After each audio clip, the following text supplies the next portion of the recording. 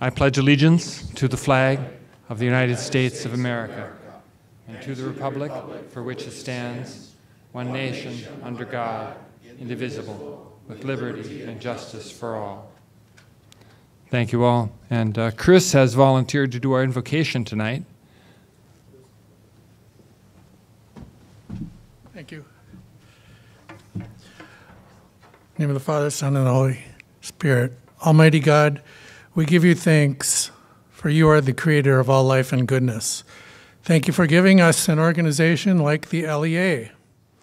A righteous man is not naive, he knows how evil works, and so he is on guard against it. If I received a message from the worst fiends of an inferno, there is nothing I should expect so much as the message that everything is bright and breezy and that there is no peril. These are the words of G.K. Chesterton. Loving God, help us to be faithful heralds of healing and hope. Thank you. In the name of the Father, Son, and the Holy Ghost. Thank you all. So, what we'd like to do is let our, uh, our honorees and our speaker go uh, grab their dinner first so they'll have a chance to, to eat before we get going with the program.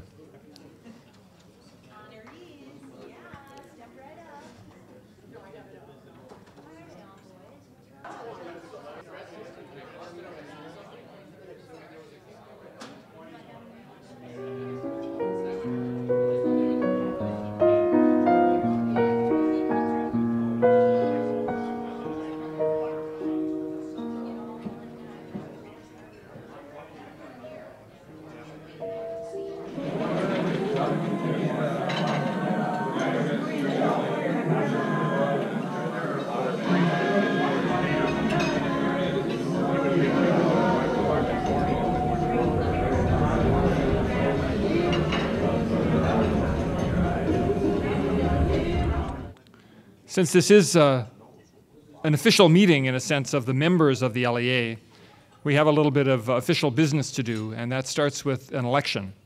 And that's uh, something Ben is going to come up and, and organize here.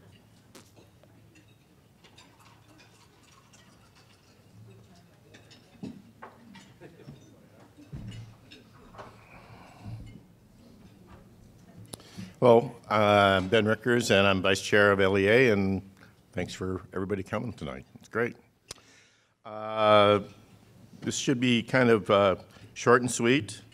We have four members that are up for reelection, or up for the uh, four board openings, and three of the people that were in board, were serving, have agreed to serve again. Uh, Gordon Anderson, Alex Bednar, uh, Mark Olson. Uh, Marty Prost, who was serving last year, has decided he, he's going to serve in a different way. He's, he's still very active, but he moved on from the LEA, so we kind of thank him for his effort. But uh, the positive, two things, I guess. One is um, we do have an opening.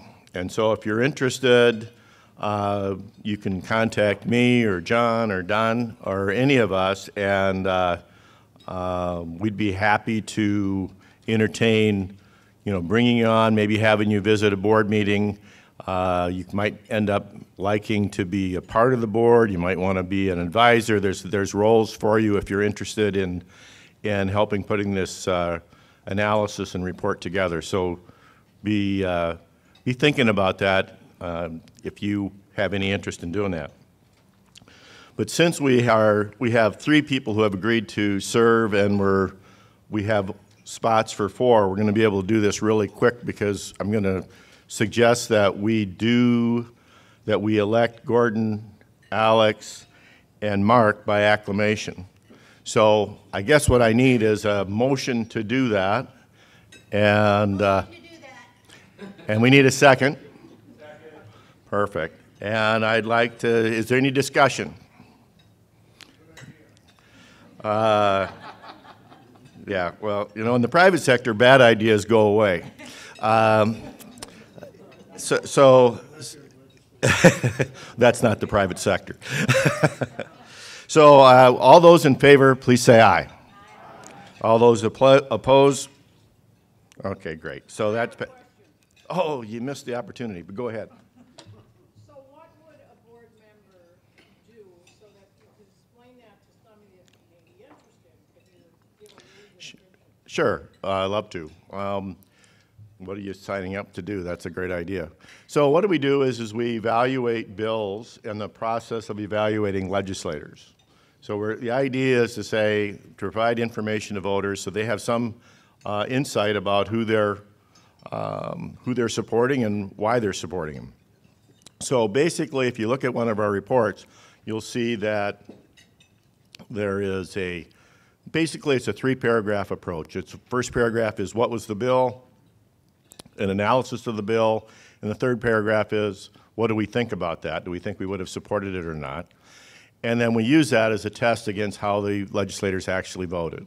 So that's, that's the, that's the core thing we do, and then we kind of pick the bills that we think are important for a variety of reasons, maybe from a process standpoint, maybe for the amount of money involved. Uh, But we pick 17 to 20 bills typically, sometimes as few as maybe 15 or 16, but that's basically what we do. It's a lot of, uh, it, it kind of, it's a, it's a, it's work that kind of goes in um, not too much, and then when legislature uh, is done in May, there's a ton of work that follows that to get the report out more or less as quickly as we can. And so, so that's when the work is, and it's usually um, a couple of hours, a few hours, maybe a little work outside of the meetings every couple of weeks during the summertime. And so that's, that's a challenge if you're uh, trying to come from the golf course, but uh, it's not too bad. Because I, I'm coming from the golf course sometimes when I go to those meetings. Um, so that's, that's, what, that's the main thing we do, but we're also trying, and, and Don and his wife are, are working on really trying to expand what the LEA does. And I don't know if you're going to talk about that a little bit later on. And so I won't, I won't seal this under by going there. But it, it's a commitment of time. It's very, you'll learn a ton about the bill making process. I think that's one of the things that I would say if people ask me about, well, why, what have you enjoyed about the LEA uh, since I've been a member? And it has been, there is, there is, you get an insight into what really is going on that you won't get certainly reading the Star Tribune, um, just as an example. So, um, so I don't know if I, I kind of wandered on a long time. Did I answer your question decently? Okay, great. Any other questions before I uh, turn this back over to Don? All right, great, thank you.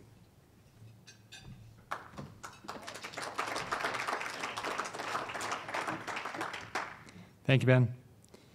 Uh, I, I get to say a few words now, and uh, I want to echo some of what, uh, what Ben has said.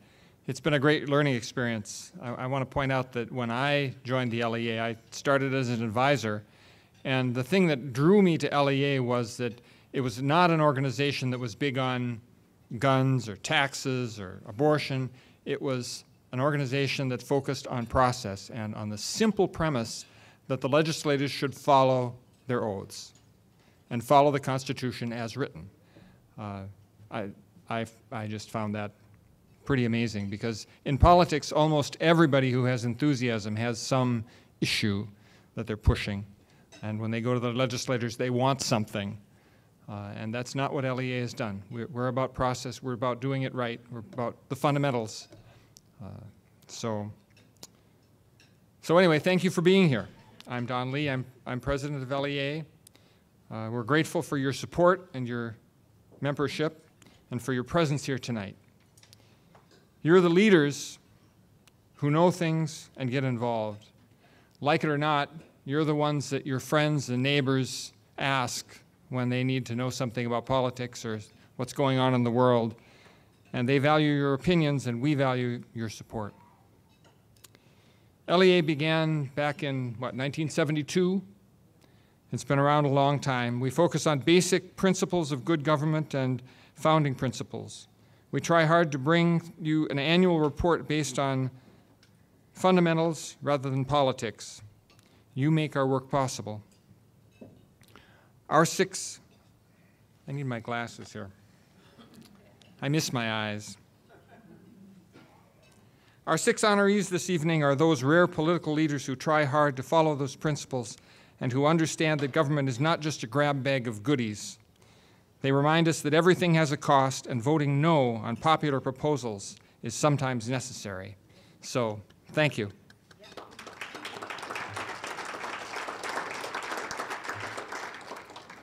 This year, we're trying something new at LEA. You've noticed my, my wife over at the table there. Uh, it's always been a struggle to get our report finished and published on time and have appropriate impact on election year.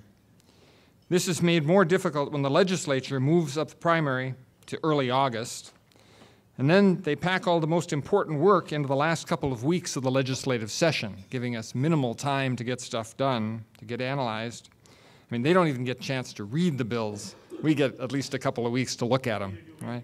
Yeah, right. Um, so they pack the last couple of weeks in the legislative session, or even worse, into a one-day special session that occurs after the legislation has, uh, legislature has adjourned. We're not real fond of that. But what we're trying to do this year is we want to recruit researchers to help us drink from the fire hose and get that report out on time with high quality. We will train them to follow the legislature, and we, they will help us track and summarize the legislature's work as the session proceeds. As you know, there are typically thousands of bills introduced every session, most of which don't go anywhere, but that's a lot to track.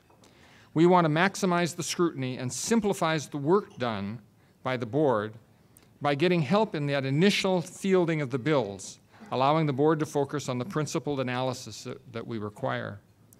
As a side benefit, everyone who attends our training sessions will be equipped with tools to follow our legislature and hold legislators accountable. It's all good.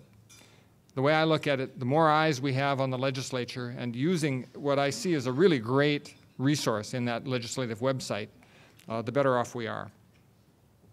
If you're interested in being one of those researchers, please sign up the, with one of the clipboards on the tables or speak to my, my wife, Connie, uh, at the information table. She's right over there. Even if you're not available to volunteer, please consider attending one or more of the training sessions. This is useful information for all the citizens of Minnesota. Thank you all for your support. We hope you enjoy our speaker, John Gizzi, who, where'd he go? he ran away.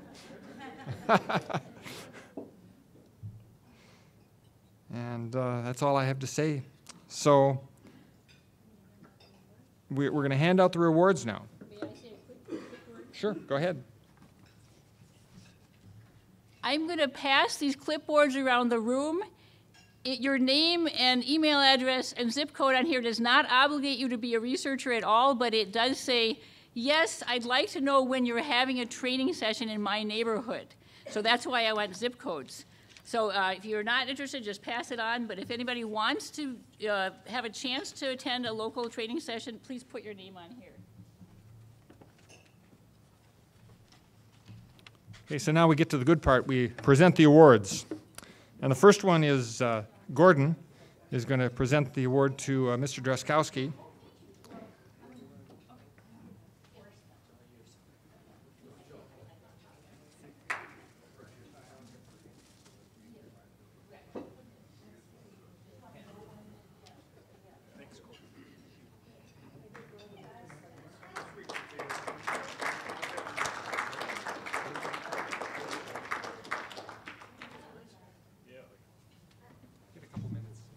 I'm just, uh, I'm not going to take a lot of time here, but thank you. Um, thanks for all you do in helping hold us accountable uh, to the Constitution and the process. Now, um, we have a new caucus in the Minnesota House of Representatives, and one of our key areas has been focusing on omnibus bills and trying to decrease the use of those omnibus bills and move to a process that allows raw votes on each provision as it comes through. And we're dedicated to moving back towards that. Hopefully, you can help us grow that presence, grow that um, action here in Minnesota over the next few years, and that'll help our process be better.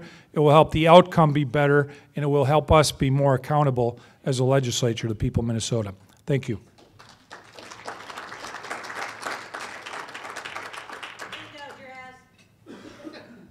Second honoree is John Heinrich, and uh, Alex is going to present him with his Alex Bednar.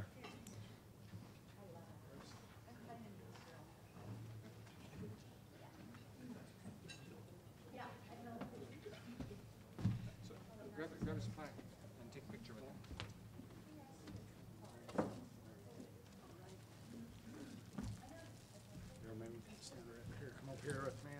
Sounds good. So, this is the plaque? Awesome, thank you.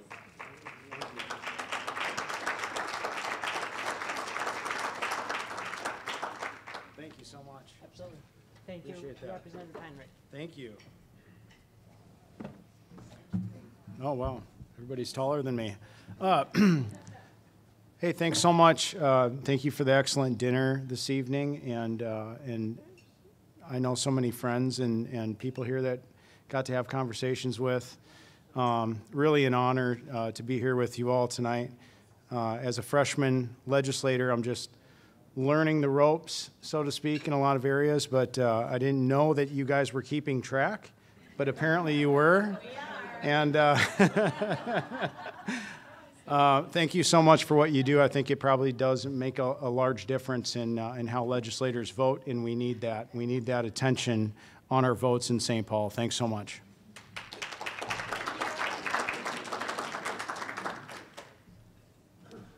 Next, Ben Rickers is going to present the, the award to Mr. Hertaus.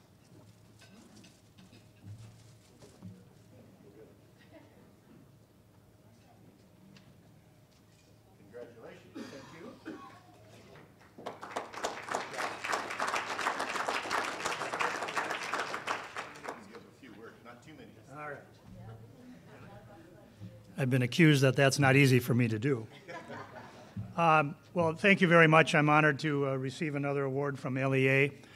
Uh, When I decided to uh, run for the legislature, I came from a business background, mainly in the construction and uh, building trades, uh, custom home builder. And uh, one thing that has disturbed me over the last many years is how Minnesota has been losing its edge in the tax competitive arena. And although when you're a freshman, you don't always get to be assigned to the committees you'd like to serve on, I have uh, taken great pleasure to serving on those committees which are more finance-related rather than policy-related. So with that in mind, um, I had a visit from the Minnesota Business Chamber today um, pointing out that their new rankings of Minnesota, that some of the efforts that I led with regard to the Minnesota State General Levy, the taxes on business and commercial property, uh, and because of the progress that we made when we were in the majority, actually has uh, improved Minnesota's standing among, amongst the 50 states. So they were thanking me for doing that. Thank you.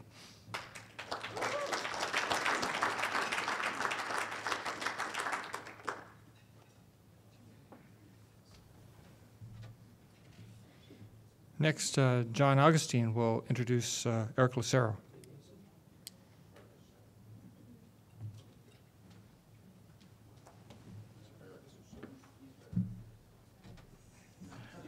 Once again, we are pleased to have uh, Representative Eric Lucero here to receive a reward, proving nearly daily that style and substance do not have to be mutually exclusive.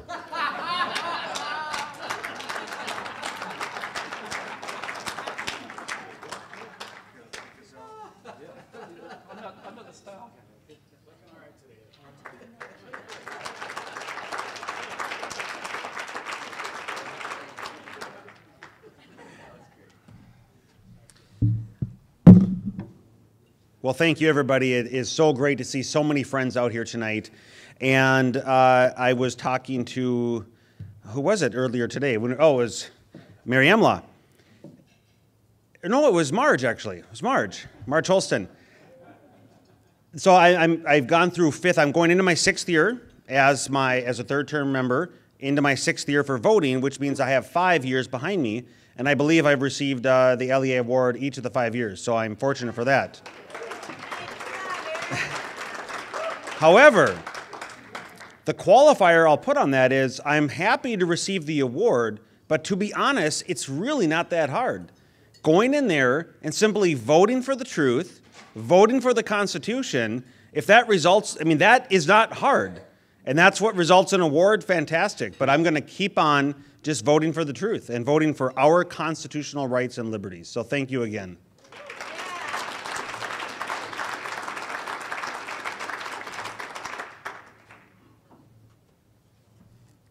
Our next award is, yeah, good man. Our next award is for Shane Maitland.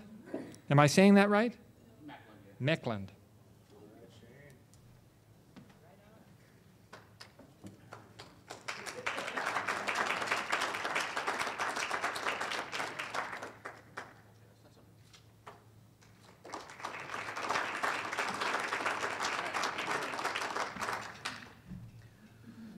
Oh, good Lord, I'm going to touch all this. So, like Mr. Heinrich, or Representative Heinrich said, being a freshman, you learn a lot. Um, like Representative Hertaus says, I also come from the trades. I started this being completely frustrated and absolutely pissed off at government. Sorry for the word, but sometimes passion is more important. Um, my main thing I campaigned is I will not flex, bend, or waiver. I believe I've done that so far. And I don't plan to change. Uh, I was told in the beginning that you'll get your arm twisted. You'll be told you can, you got to do this, you got to do that. There was a little, and I said no. So, thank you.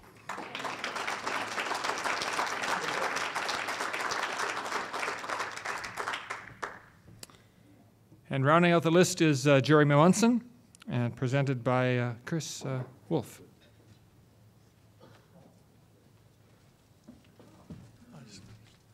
I just want to say something about Jeremy first. He's from 23 3B. He uh, is on the Health and Human Services Finance Division, Housing Finance and Policy Division, and Long Term Care. He's a business consultant in regulatory compliance. And I asked him before, and he says that he does not grow hops on his farm anymore, but he still has five acres of hops that Well, we haven't taken care of them for two years, so they're dead. Oh, they're dead. Sorry.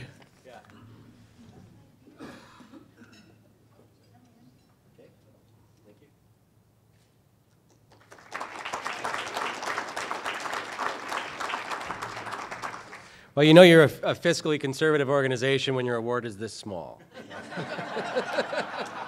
but but I, I, I plan on tiling my wall with these, so it- as long as I'll be in the legislature, uh, well, I'll be collecting these. This is my, I, I was elected two years ago last week, so just, it was at a special election. So I've been through three sessions. I think I've got three of these. Um, you're a wonderful organization. Uh, we need, we need more, uh, we just need more people to learn about you. Um, the ACU came here to do an award ceremony for conservatism, and basically everybody that has an R after their name got one. Um, and people we really need to know about omnibus bills and the process, and that's what I'm so passionate about. Like Draz said, we oppose omnibus bills. Um, when I was elected, I came in, I was sworn in like a few days before session started, and I got in and started just shredding bills in committees. I was so excited, and then finally somebody took me aside and said, We're in the majority, these are all Republicans' bills. So, you know, but I didn't care. You know, I stood up on the House floor and railed against the bonding bill, and you could see Urdahl just go crazy because, you know, he was mad.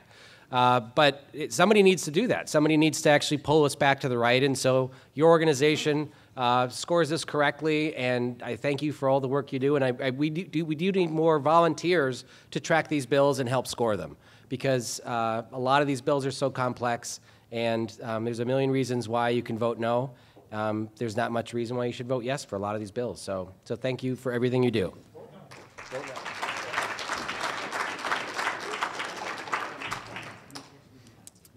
I think we chose well. Uh, our next uh, agenda is uh, we're getting to our speaker, and uh, John Augustine is uh, the one to introduce him.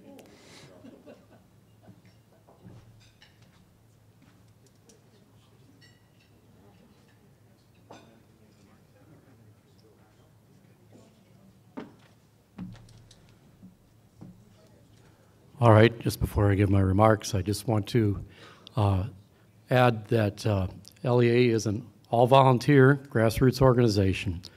And uh, not only our reports, but the banquet here tonight is uh, the product of uh, people do- do- donating their time and talents. We have a videographer here doing it for much less than cost. We have another one who came from Duluth who's doing it for free. We have a photographer who's donating his services. And we ha- have had a, a wonderful experience at this uh, ven- our venue here for the first time here at Jimmy's Event Center. And they were very reasonable in, in uh, negotiation for, for pricing and options as well. So I want to thank the staff here for that. And uh, with that, I can move on to introducing the keynote speaker. So, I realize a few of you tonight knew of this distinguished gentleman who has come here to visit with us and speak at our banquet. but for a lot of you, the question first made famous by Ross Perot's running mate is in order. Who is John Gizzi and why is he here? he doesn't have the name recognition of a famous politician or even a syndicated commentator, although his latest job with Newsmax likely has made him a more recognizable face when out in public than he was for most of his career. He's a husband, a man of faith, who has amassed a treasure trove of stories and wisdom while building a long career covering politics, not only in our nation's capital, but also outside the United States and in states across the nation. Once you come into contact with him, he's an unforgettable character. Could make for an interesting book someday when he finally dials back his coverage of daily political events. Who else in journalism fills his Twitter feed with 50 year old historical parallels to current events and dresses as if he belongs in one of those classic movies that has been colorized? Through his long involvement with internships arranged by the National Journalism Center, he has met a mentor to many others who sought roles in journalism, including myself. Let me take you to a time, the summer of 1992, that's more than 15 years ago, by the way, where I first worked with John Gizzi. My wife, Monica, and my daughter, Amanda, who are here tonight, can only imagine what it was like. After participating in some Leadership Institute programs, a few small political jobs, and doing some writing for a small college newspaper, I was accepted into the National Journalism Center's summer internship program. NJC was founded by conservative journalists and specialized in giving students who were not journalism majors the training and hands-on experience to pursue jobs in the media. The interns lived together in housing a few blocks from Capitol Hill, received a small stipend to help with basic living expenses, and were placed with a variety of media companies around the Beltway. The intern house had one small TV and a community car that people used at their own risk to get basic groceries or go where mass transit did not. You could see the cord sticking out of the tires. No one put more than a few dollars of gas in at a time because any day could be the last for that car. One time, a couple of us had to push it half a block to a gas station after being in the car for less than a mile. So some housemates got to work at CNN. There was no Fox or Newsmax yet, much less any online only conservative news sites. Another of my housemates, Raymond Arroyo, got his start interning as a researcher for the Evans and Novak syndicated column before eventually becoming a news anchor for EWTN and a published author. Joe Hainthaler was in the same household as housemate as I was too, and he worked in human events offices as a, as a position of, position of copy editor, a position that may soon be, declared an endangered species, unfortunately. I got to work at a national conservative newspaper, Human Events, with John Gizzi and the rest of the gang there. Every workday, this native, cold weather loving Minnesotan would sweat through my formal attire while walking to and from the transit stops to the building where Human Events was, often dodging a few panhandlers while I was carrying a briefcase who foolishly thought just because I was formally dressed I had a lot of money to throw around. I already knew some basic research skills from my experience in debate, politics, and school newspapers. Human Events, which was much different than the site that goes by the name of Human Events today, taught me how to deal with different people to find and print information that would interest their readership. The central characters in Human Events offices had a variety of styles and backgrounds. People smoked. Those of us who didn't weren't obsessed with banning them from doing so. Christian, Jewish, different races and ethnicities. No one there seemed to be staking claims to knowledge through identity politics. People brought their various backgrounds and talents together to provide the best product to their readership and to the company as a whole. Editor Allan Ryskind's office was stacked high with reports from various agencies and organizations. He would dig through them and come up with some remarkable news stories. I learned, my family can probably tell you this, perhaps too well, that you didn't have to have a tidy work environment to do the job. At the other end of the style spectrum was John Gizzi, who seemed to be always engaged in conversations to flesh out his stories. He became known for the amazing size and range of his Rolodex of sources, which he would go back to years after first being in contact with them. I learned that it wasn't intimidating when working for a newspaper to interview high profile people, such as the mayor of Miami, Florida, or the number two person at Geffen Records, as long as you were prepared, asked fair questions, and respected their time. They're people just like anyone else. I was happy to be a source of information when John chose to write about Minnesota politics long after my internship ended. If for no other reason than to counter the line that Vin Weber and like minded operatives were always trying to feed him. It even led me to getting a Human Events byline in 2009 with a profile of Tim Pawlenty when he began exploring a presidential run. John Gizzi helped get that published. We made an effort to stay in touch over the years. Finally, after a few years of discussion, John agreed to come to the political and media wilderness of Minnesota to support LEA with its unique and important mission and to share his well formed insights and vast knowledge with a population that deserves greater exposure to them. And so now, without further ado, I present to you on behalf of LEA, John Gizzi.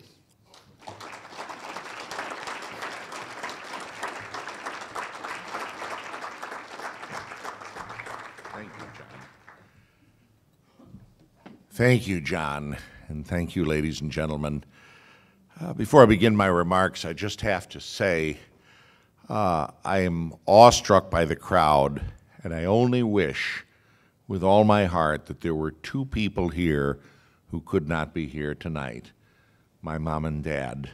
Mom made it to 92, dad to 97, because they would have most appreciated John's warm and poignant remarks. I think my mother would have been impressed, and my father would have been amazed.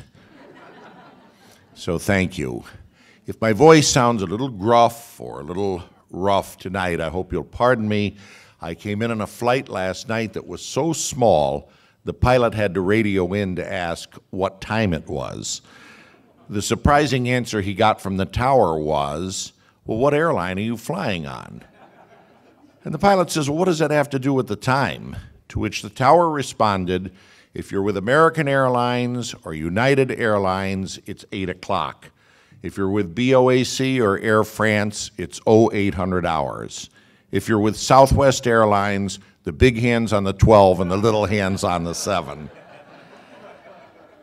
It's a special treat to be here in Minnesota tonight. I think a lot of us who cover politics love Minnesota because you've given us the colorful and the men and women of certainty and consequence. Look back at your history for generations. Floyd Olson, governor of Minnesota, the Bernie Sanders of his day. Harold Stassen, the boy governor, who, by one year, by being elected at age 31, kept the title of youngest governor in the U.S. from 32 year old Bill Clinton of Arkansas. And of course, Hubert Humphrey, Gene McCarthy, and Walter Mondale all were major players in the national political scene.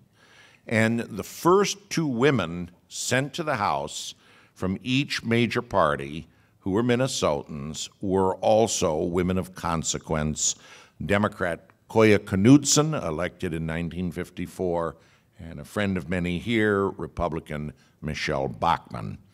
And of course, more recently, we've seen the elections of Paul Wellstone, another precursor of Bernie Sanders, of Al Franken, Jesse Ventura, and most recently, Congresswoman Ilhan uh, Abdullahi Omar. Very simply put, uh, it's a pleasure to come here because one thing for a political reporter that he or she can say about Minnesota, it's never boring here. Now, I do have to say a word of thanks to John Augustine. It is true, he was our intern at Human Events, and he was rock solid then, and he's rock solid today. We have made an effort to keep in touch, and he's been invaluable uh, helping me over the years. When I would say someone was conservative who didn't meet his high standards, he would call me and his, in his own shy and retiring way would say, You're wrong. so I'm very grateful for John. Thank you all.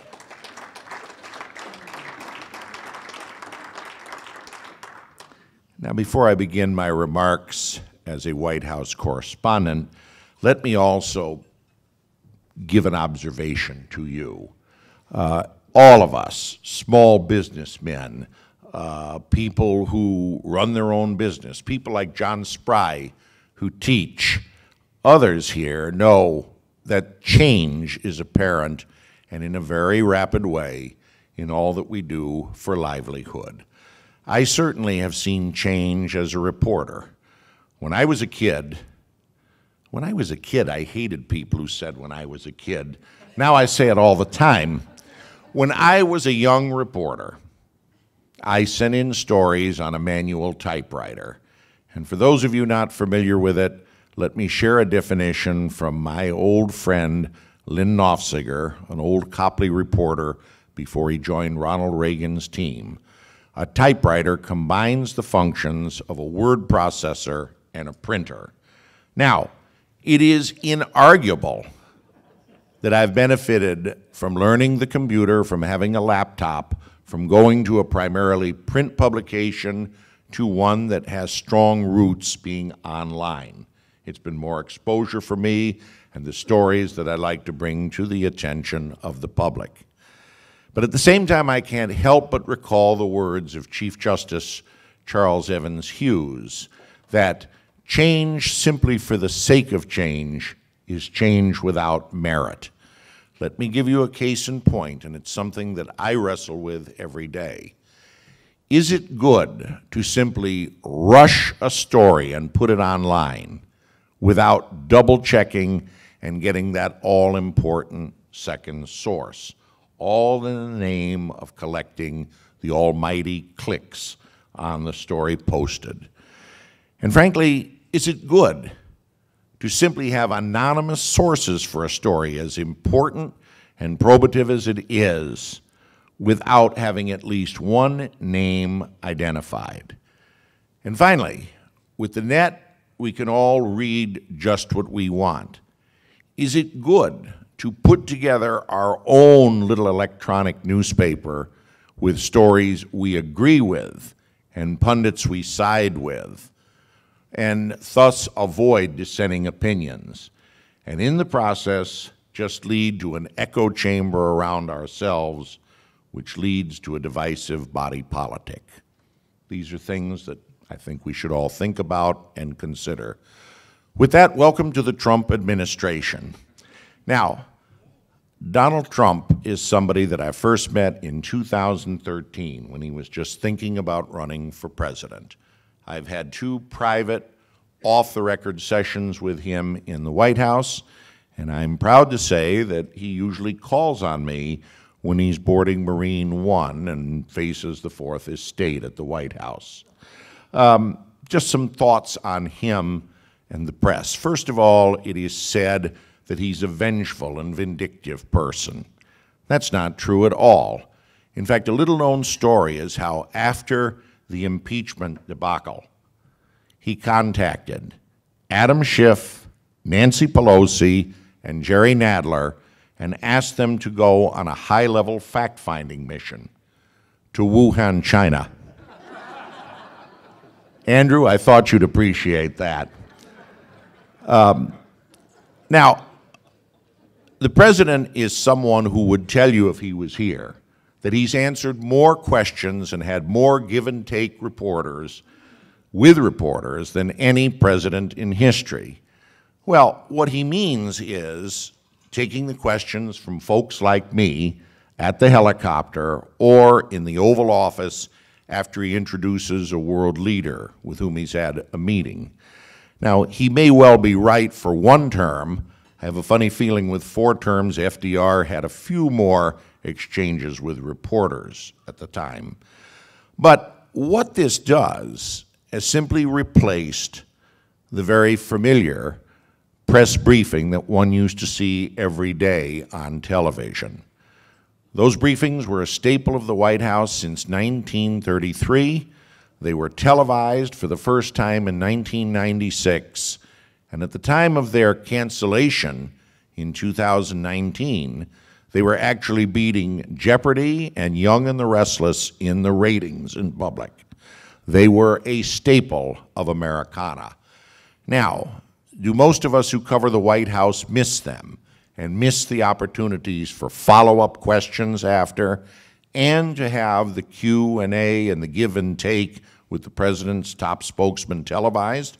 You bet we are. And I'm going to let you in on a little secret. Someone else who is, is Sarah Sanders. She was just hitting her stride as the president's top spokesman, and indeed, she was getting much better at jousting with Jim Acosta every day.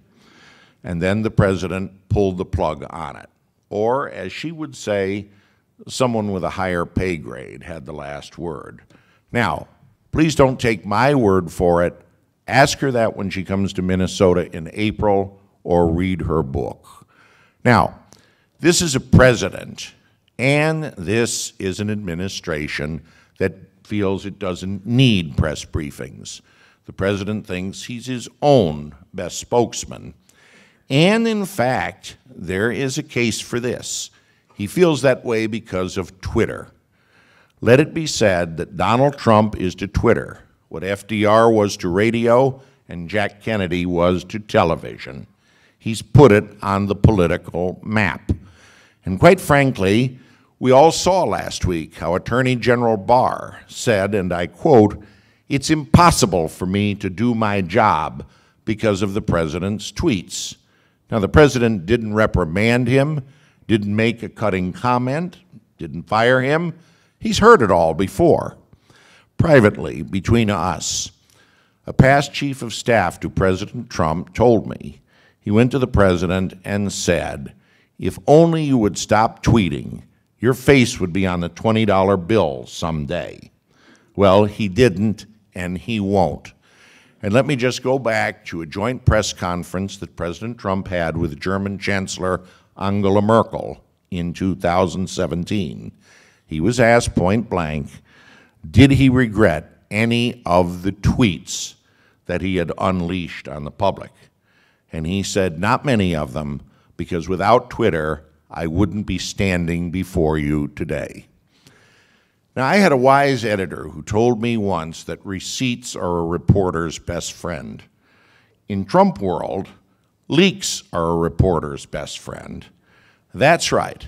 Most of the major stories you read about, ranging from the appointment of the two Supreme Court justices to the recent speculation that the president favors a tax break and tax incentive for people who invest in the stock market.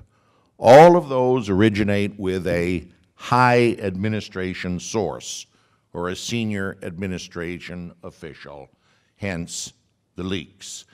And quite frankly, this reporter speaks with experience on leaks. At a time when the Secretary of Labor held a press conference to insist that controversy notwithstanding, he was going to stay exactly where he was.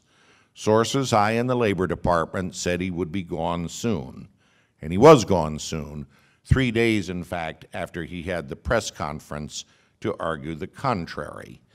Uh, when the speculation began that White House Chief of Staff John Kelly was going to leave his position, a high-level source told me ignore the speculation about Governor Chris Christie, or Nick Ayers, Chief of Staff to the Vice President, as his successor. The next Chief of Staff would be Mick Mulvaney, Director of the Office of Management and Budget. And sure enough, that happened a short time later. I might add that my source came to me in the men's room of the Marriott Marquis Hotel in Washington to share this secret. Now, it is said that all leakers in the White House are equal, but some are more equal than others. Witness the case of Anonymous. I'm sure you've heard about the book that's come out by a high level official working in the White House. It really doesn't reveal anything that we didn't know already, but it certainly bothers a lot of people, including numero uno, that someone is writing a book while on the White House payroll. And I can tell you, Anonymous will be known to the public, and she will be gone from her position quite soon. Just keep that in mind. Now, let me conclude with a little mention about Donald Trump himself and policy, uh, or as John Augustine used to call it, the substance. Uh, the fact is that policy is critical to this administration. And to discuss Donald Trump without discussing his policies would be like, oh, casting the first act of Hamlet without the gravediggers. Uh, this is a president who, if you try to compare him to any past president, any president in American history, you won't be able to do it. In order to find an accurate comparison, one has to go across the Atlantic. And the person who most resembles him is one Silvio Berlusconi, the multibillionaire um, communications magnate in Italy, owner of a winning soccer team, and someone who came to the office of prime minister four times and never held office before. Does it sound familiar? Like Donald Trump, Berlusconi came from a comfortable family background, and he turned that comfortable family fortune into a multi-billion dollar colossus. He was a colorful character, and just as Donald Trump was known in New York as the Donald, Silvio Berlusconi was known throughout Rome as Il Cavaliere, the Knight. Both men have made multiple trips to the altar and make no secret of their pride in being called ladies' men. And both, interestingly, while having an overall conservative record, are willing to apply uh, a treatise from the business world that if something different is going to work, then try it, just so long as it works. Berlusconi, for example, surprised a lot of people during his first mandate as prime minister when he ended conscription for the Italian military. Donald Trump totally leaves Medicare and Social Security off the table. In other words, the two biggest causes of the deficit are not addressed by the administration because he knows that that third rail is going to be electric. Now, when you look at the rest of his policies, if you insist on trying to compare him to an American politician, one has to go back a few years and look at someone who ran for president and didn't make it. That's Pat Buchanan, who ran a quarter of a century ago. In his most successful run for president, he laid out the groundwork for a manifesto that, for the most part, was adopted by Donald Trump. In other words, Pat Buchanan's legacy is Donald Trump's agenda. The obvious case in point is using trade as a weapon to get other countries to go along with one's policy. And certainly the President's emphasis on changing the judiciary to the point of outsourcing judicial nominees to the Heritage Foundation and to the Federalist Society comes right from the book of Buchanan. Pat Buchanan, in fact, in his last book, devotes a whole chapter to his belief that the Nixon administration he served so loyalty totally dropped the ball in the selection of judges, including at the level of the Supreme Court. And of course, What we call today the border wall, or Trump's border wall, was a quarter century ago the Buchanan fence. And what was Pat Buchanan's slogan when he ran for president? America first. And there's one other change in Donald Trump that's almost a seismic change in foreign policy. Under the last two presidents, encouraging countries that the United States dealt with to become democratic was not only a high priority, it was an imperative. George W. Bush said as much in his second inaugural address in 2005. Barack Obama, in his now celebrated and storied Cairo speech of June 4, 2009, said that, not only emphasizing democracy in the Middle East, but women's rights and religious liberties as well. Donald Trump doesn't address things in such lofty terms. In fact, his bottom line is if a country is going to work with the United States, that it can do whatever it wants on the domestic front.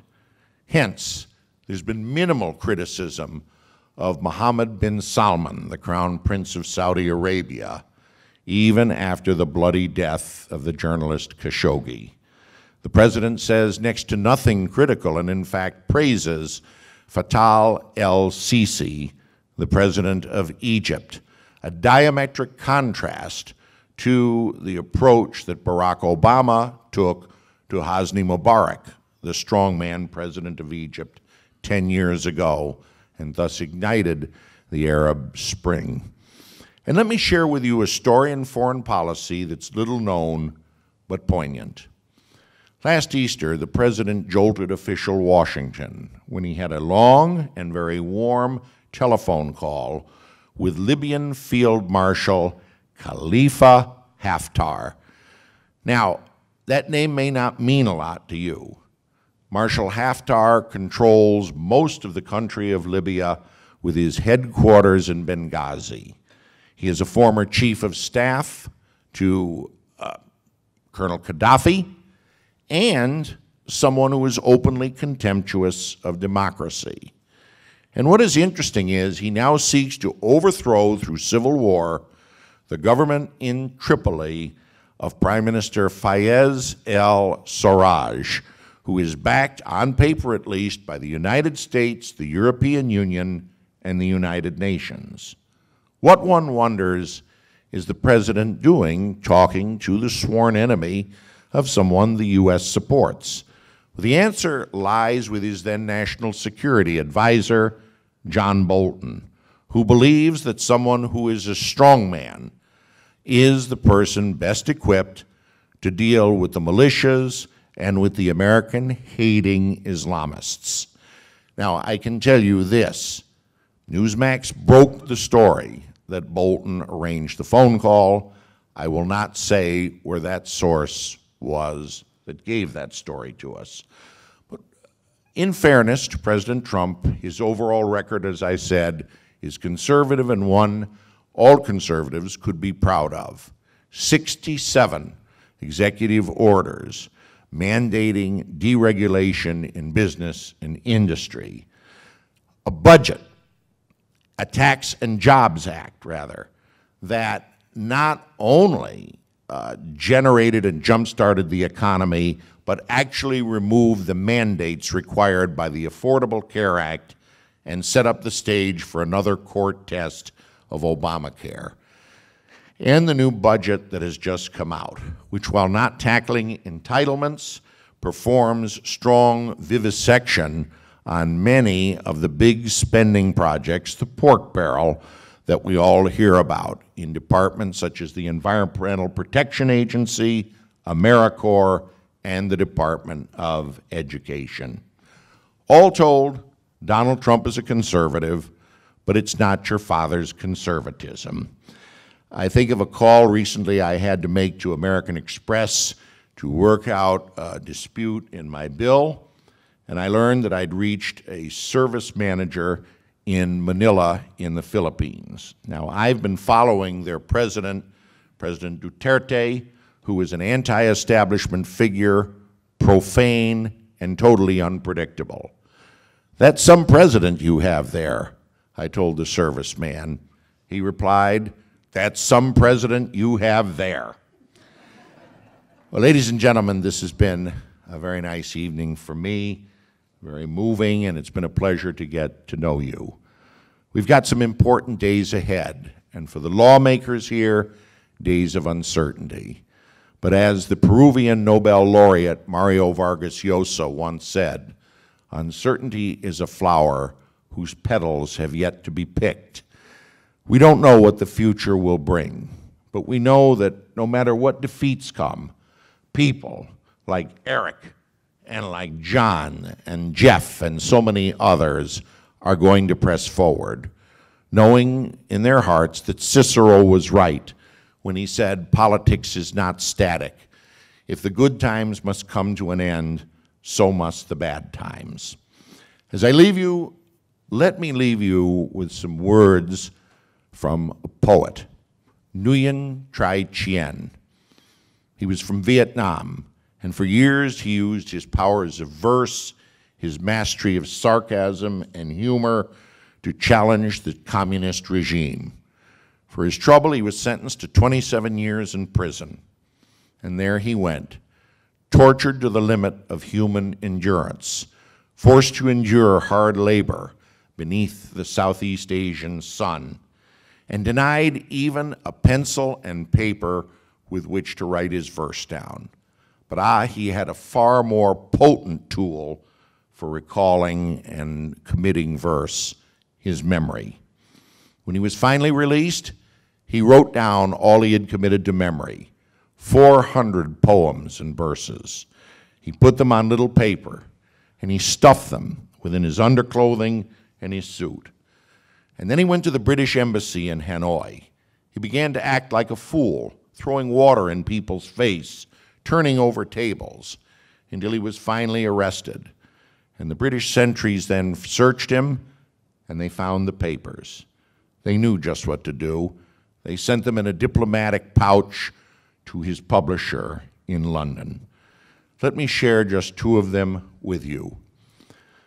They exiled me to the heart of the jungle, wishing to fertilize the shrubs with my remains.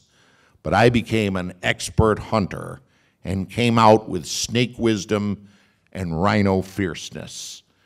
They sent me into the ocean, wishing I would never return from the depths. But I became a deep sea diver and came up with many scintillating pearls. On October 9th, 2012, Nguyen Tri Chien died, but his words, published in the form of Voices of Hell, live on. He's the Solzhenitsyn of Vietnam. Keep in mind his words and his inspiration. Lawmakers, members of the LEA, and those of us who report on you, continue to go out and do your mission. Develop and face problems with rhino fierceness and snake wisdom, and you will come up with many scintillating pearls. As conservatives, as LEA friends and supporters, you can do no less. Thank you, and good night.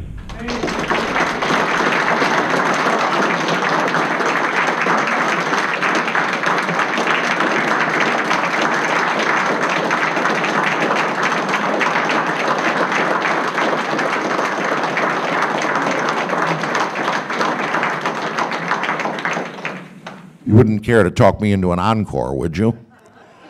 I'll tell you what, John.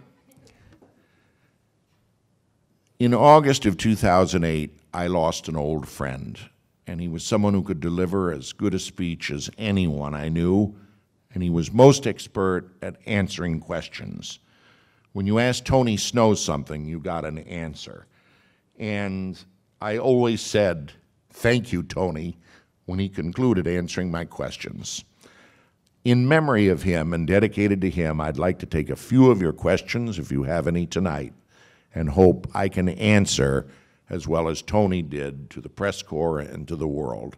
So, questions.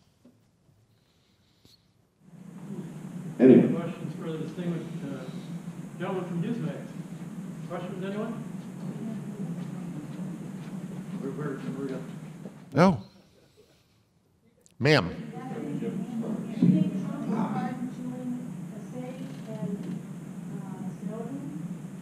No, I do not.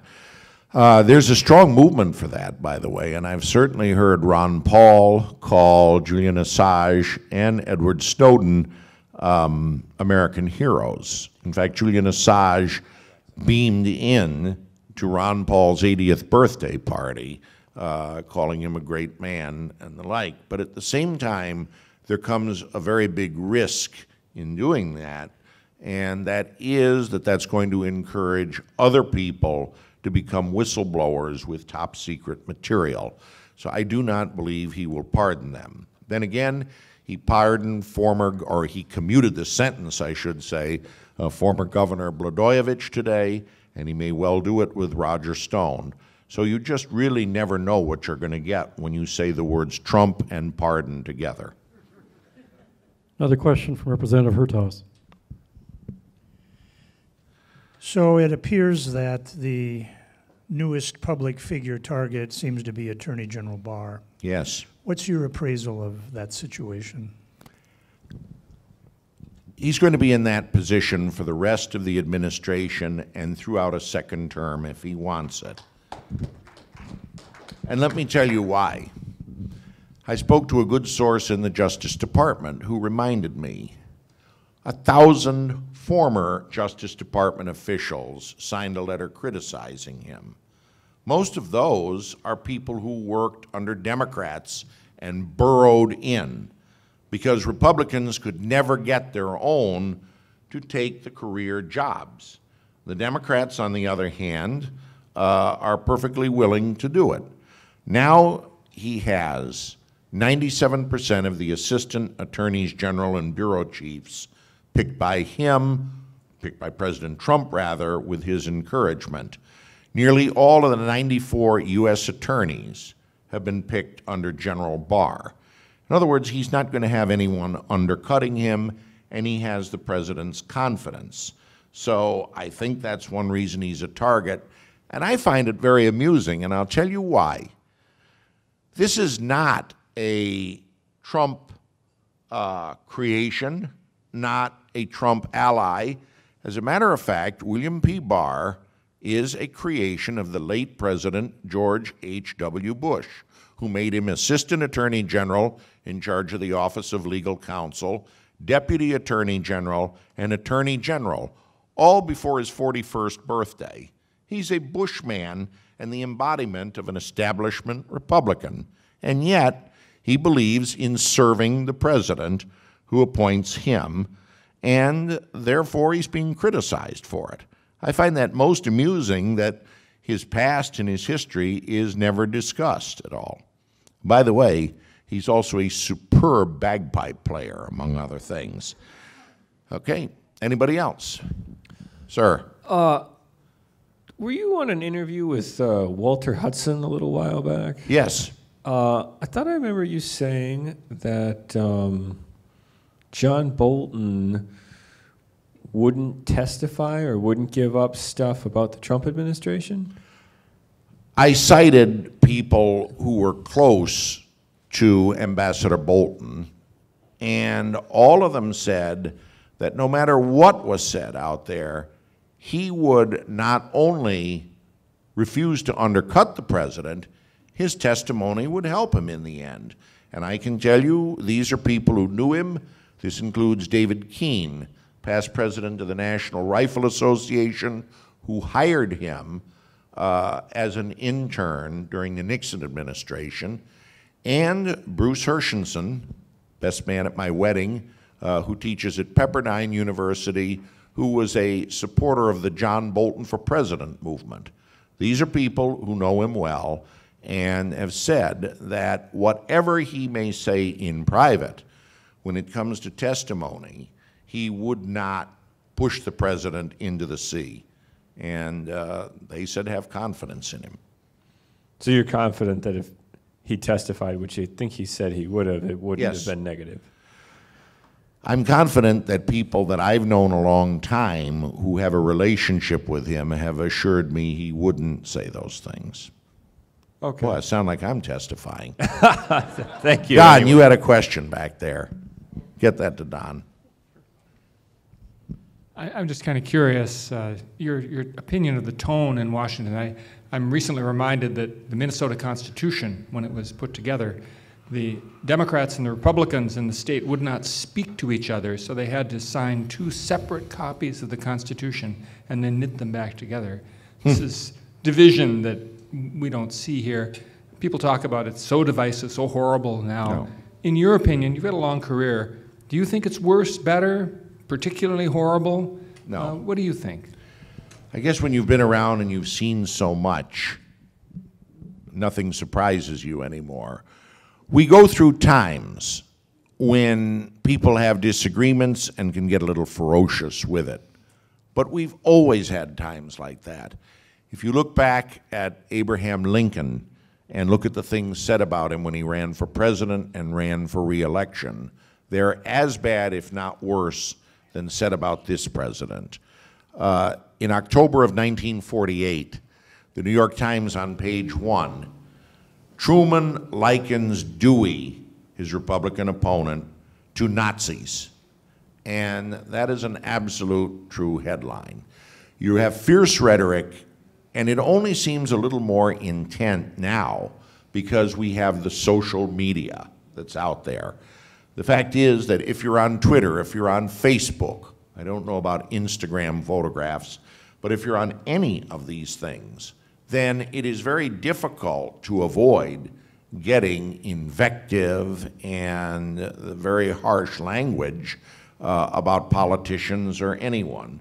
I went on Twitter primarily because an editor insisted I do it, and I rather enjoy it, uh, and I learn a lot of things about it. I also know that I can get pilloried for things, particularly any kind of article that's controversial. So I think it's about as bad as any times were. It's about as good as any times were. We just feel it a little more because we live in the age of social media. Andrew. Hi there, nice to meet you. Um, do you know anything about Congressman uh, Tim Murphy with his Iranian secret deal that they were trying to do? Now say the name again. Tim Murphy, Congressman from Connecticut. What, you're talking about Senator Chris Murphy from Connecticut? Yes, please. Sorry about that. No, no, I'm afraid I don't. And I'm sorry to say the Nutmeg State is my home state, and I'm not familiar with it. But I would just simply say that uh, in Connecticut, as in California, this is a state that is moving more democratic. It's much more democratic than Minnesota is. And you are going to find uh, intense dislike for Trump and opposition to him coming from just about everyone there. You're talking about a state that has not sent a Republican to Congress since 2008. And I can say that because I'm from Connecticut. Yes, sir. Ben? Yeah uh, my question is, um, my question is about self-awareness. Um, I often wonder if they, if the press, well, I was trying to use my outside voice, but I guess it wasn't enough. Uh, if, if the press is, is aware of their, of the perception that's out there, because they had, you know, you talk about anonymous sources and, and they don't seem very concerned about their credibility. They don't, and, and it's as if we are supposed to just believe them because they are in those positions. I'm reminded of, I visited the Congress in 1986, and I can't remember the players anymore, but I was in the, up, up above in the, in the, in the balcony, and uh, someone said about my good friend who uh, was from the other side, and they went on about how they loved him and cared for him and all that, and I broke out laughing. And they said there'll be no laughing in the balcony. It was, it was, it was, it was un, incredible. And I guess I'm wondering, do, do the, does the press know how, how hard they need to fight for credibility? Absolutely. I think the fact that so much is televised and so much is online, you cannot be unaware of that. And I would just say that many of my colleagues out there uh, do not pretend not to be opiners and things. And that's fine. But with that comes the fact that they're going to get opposition. Speaking for myself, I like to just report the news. It's a great thrill to me to discover something that people don't know in advance. Uh, John mentioned Allan Ryskind, my friend and mentor, our old editor, who used to infuriate me when he would say, I know this already. He said, Everybody knows this. Tell me something I don't know. But he was absolutely right, and that's what I like to pursue. Now, if you are going to be an editorialist and an opiner, then you're going to get some kind of opposition. And this is why many stories and things on blogs have room for a response. And I read some of the response. It's pretty rough stuff. Um, I would just say choose what you want to be, but then accept the consequences of it. Yes. Uh, Two hypotheticals. Uh, Should Trump win re-election and Nancy Pelosi is still Speaker, will the Democrats impeach Trump again? No. I mean, they can figure out very easily that this one was a dud, basically. It did not sell. And Nancy Pelosi spoke at the Christian Science Monitor breakfast. I was seated one seat away from her when she was asked, Do you want to see Donald Trump impeached? And she said, No, I want to see him defeated and sent to jail. It's all red meat for the supporters, but it wasn't enough red meat. She changed her view when she let AOC and Congresswoman Ilhan Abdullahian Omar push her too much. She's always got to defend her left flank all the time because eventually there's going to be a challenge. Nancy Pelosi is going to be 80 years old next month. She was um, a graduate of Trinity School in Washington when Pat Buchanan was graduating from Gonzaga Boys School, and I know how old both of them are. Uh, Steny Hoyer, the majority leader, 80 years old. Jim Clyburn, the whip, is 81. The stage is set for someone younger and farther to the left to take over. And I would just say that if that is the case, I hope they have learned their lesson because this did not help Democrats in any way, and uh, it certainly is not helping the eventual Democratic nominee for president. And if you think that's a partisan view, I would say the same thing about Republicans pursuing the impeachment of Bill Clinton.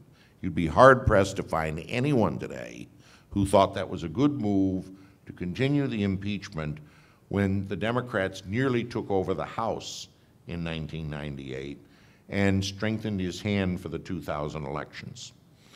What's your other hypothetical? No, uh, hypothetical was Trump and Pelosi still being. John and Jeremy both have questions over here. Thank you. Uh, Given uh, what happened last uh, election cycle between uh, Bernie Sanders, say it out loud Sanders, and Hillary Clinton, what do you think your appetite for the uh, Democrats is for a, Bernie Sanders nominee, yeah, given the superdelegates and how they run their deal there? Representative Heinrich, the superdelegates are barred from voting on the first ballot of the Democratic Convention. This was the rules change that was given to the Sanders supporters after the convention, ostensibly to bring them on board with Hillary Clinton. Uh, when I was riding with Gordon today, I had a phone call from Don Fowler, uh, the one of the two oldest living former Democratic chairmen, who's from South Carolina, and he was one of those who opposed the change but believes it should stay in place. So the superdelegates will not be there. I've just been in Iowa and I've been in New Hampshire, and since you brought the question up, I will tell you this. Bernie Sanders is in the position that Ronald Reagan was on the Republican side in 1980. He nearly won the nomination against the establishment favorite four years earlier. His supporters were wired, many of them accused of sitting on their hands and letting the other party win. uh, they're coming back very strong right now. And he did very well in Iowa. He won the popular vote. He won New Hampshire. He's ahead in Nevada right now. And Mr. Fowler from South Carolina said he's strong in the Palmetto State. Uh, now, you, I would say he gets to Super Tuesday. Michael Bloomberg can spend all the money he wants, $350 million. A lot of that can be undone by one more comment about teaching the farmers or likening Putin's annexation of Crimea to the U.S. annexation of California. Um, that kind of talk is just not going to sell well. I think I would not bet the farm, but I'd bet several acres the Democratic nominee will be Bernie Sanders. And if Bernie is a pragmatic and sharp politician, he'll pick as his running mate Amy Klobuchar. Jeremy, you had a question. Well, yeah, John, that was really, I was going to ask the same question and what the odds were on a brokered convention at the DNC. So that was kind of the same, same line. Okay. And, and maybe the, on the, the rumor that Hillary Clinton could come out of the uh, brokered convention. Well, as Donald Trump said when asked about facing Hillary Clinton again, thank you, God. Um, the idea of a brokered convention or even a multi ballot convention is out of the question. It's like dusting off an old movie, quite frankly, to watch, or colorizing a movie. The last time a convention went over one ballot was 1956. And that's when Adlai Stevenson, the Democratic nominee, threw open the selection of his running mate to the delegates. And Tennessee Senator Estes Kefauver uh, narrowly beat the young Senator John Kennedy from Massachusetts for the nomination. And it was all very exciting to watch, very spontaneous. It was also at a time when delegates were chosen by parties in most state and operated as free agents and individuals. Hence, you could have the brokering, as you put it. Now, most of them are legally instructed uh, by their parties or more so by states in response to primaries. So 85% of the delegates will be selected by March 5th, Super Tuesday. And if that is the case, um, then I would say the chances are a nominee will have been selected by then.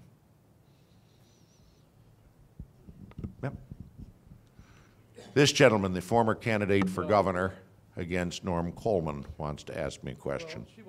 Oh, ma'am, Marcia. Thank you. So we've seen a lot of journalism um, decline, real journalism decline over the years. And I come from Duluth, Minnesota, that has a one-horse piece of paper that we see a, an opinion uh, article on the front page as news instead of in the editorial column. So this so-called journalist is making his opinion on the front page. What are the chances of turning the direction that journalism has gone in the indoctrination system, which is our colleges and our lower education?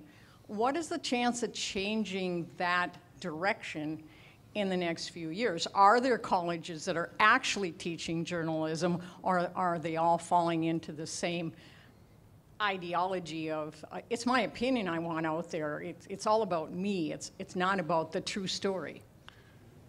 Do you You've just given me an opportunity, Marcia, to underscore something that John touched on. I met him because of the National Journalism Center, which I'm now on the board of. And I can tell you, the young people who are coming up and want to be real journalists, shoe leather journalists, um, are growing. Now, a lot of that means that they have to understand that there is no ideology in that kind of journalism, that it's just basic shoe leather. Somebody was saying once, How did you uncover that the Secretary of Labor was out? And I said, A lot of shoe leather and a lot of lunches. And that's where these young people are coming from.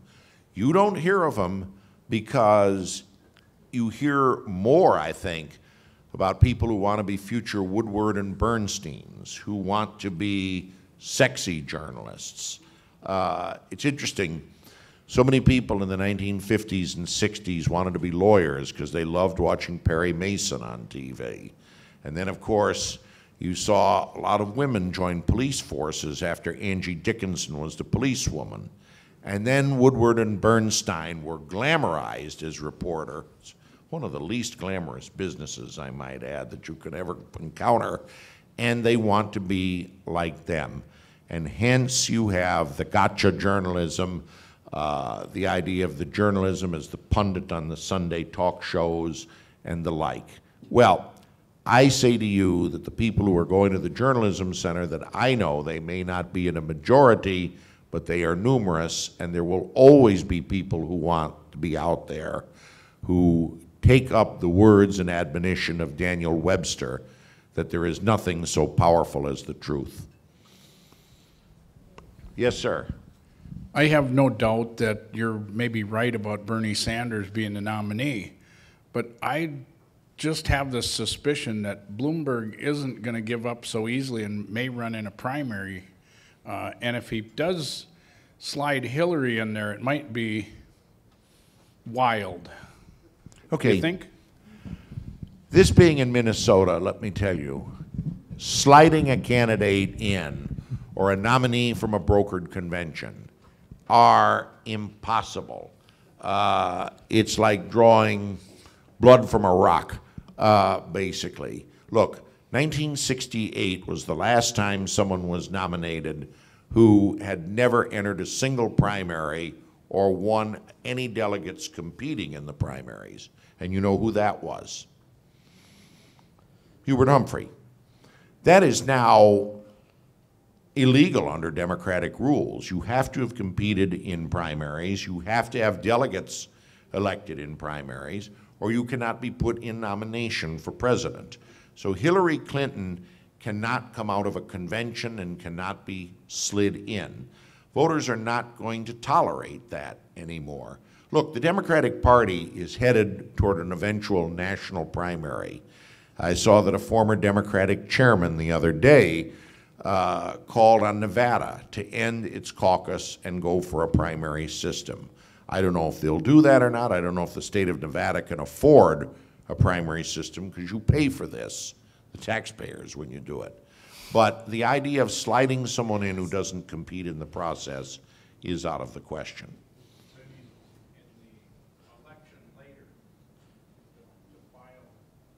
File as an independent, I think is what he's trying to say. Oh, as an independent? Uh, Many of the deadlines to be on the November ballot have passed already. Usually if someone is going to do that, uh, a Ross Perot, say, or the Libertarian Party, they either have to have presence on the ballot or they have to begin a process with petitions to get on the ballot. And that's become harder over the years. Individual states have made it more difficult to get third-party or independent candidates on the ballot. Perot could do it because he planned early and had the money. I don't know that Hillary Clinton could.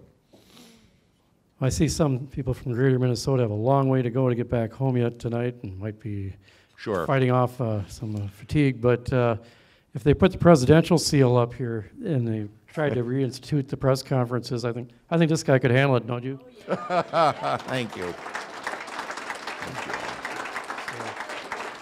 Let- Once again, let's thank John Gizzi for coming here tonight.